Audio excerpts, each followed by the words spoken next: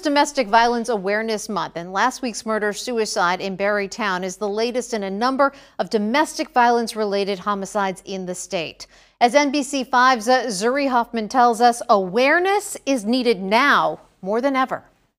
From March through May, we saw nearly double the rate uh, domestic violence cases coming into our office that we would have anticipated to see. Washington County State's Attorney Rory Thibault says domestic violence is a real problem. His office typically sees about 10 domestic violence cases each month, but that number went up when the pandemic hit. Last week, a Berlin police officer allegedly shot and killed his former girlfriend before killing himself in Barre. It's the latest of three domestic violence homicides in Washington County over the past four years. Some of the most difficult cases to detect are the ones that occur inside of households or in relationships that from the outside looking in appear to be healthy or or normal. Thibault says criminal justice is only half the equation when it comes to victim support. The other half involves community partners helping victims make the decision about coming forward and doing it safely. When people are staying at home more, that means that they're staying at home more with the people who are causing them harm.